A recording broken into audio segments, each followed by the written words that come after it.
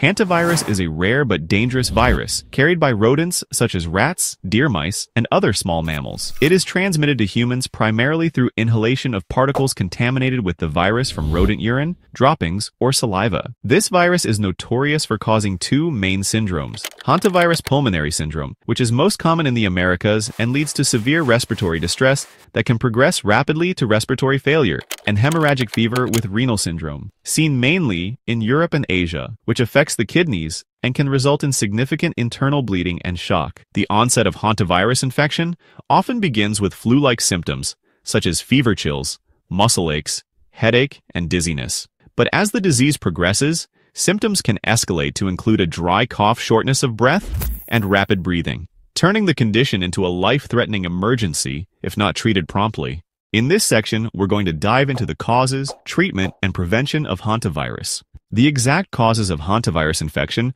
are linked to exposure to environments where infected rodents live, especially in rural or semi-urban areas where rodent populations are not adequately controlled. There is no specific antiviral treatment for hantavirus. Instead, treatment is largely supportive and focuses on managing symptoms. This often includes oxygen therapy, mechanical ventilation if necessary, and other intensive care measures to stabilize the patient while their body fights off the infection.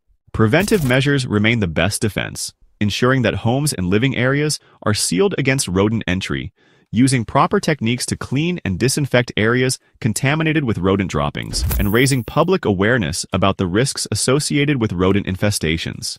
The real-life impact of hantavirus cannot be overstated. Families and communities have been deeply affected, and the importance of awareness and prevention has never been clearer.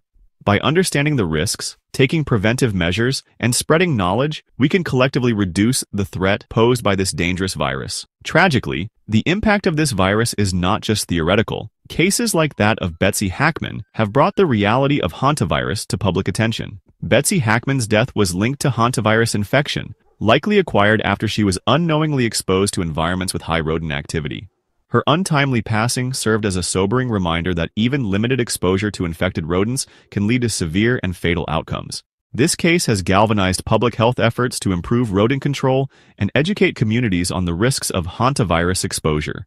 It underscores the importance of early detection and immediate supportive care, which are critical to increasing the chances of survival in the absence of a specific cure. As we continue to learn more about hantavirus, its causes, symptoms, and current treatment options, it is clear that prevention and public awareness are key to minimizing risk. Whether you live in an area prone to rodent infestations or simply want to safeguard your home, taking the necessary precautions can help protect you and your loved ones from this dangerous disease. Thank you for watching this comprehensive update on hantavirus. Please take care of yourself and your loved ones, and remember to subscribe to our channel for more health, science, and wellness insights.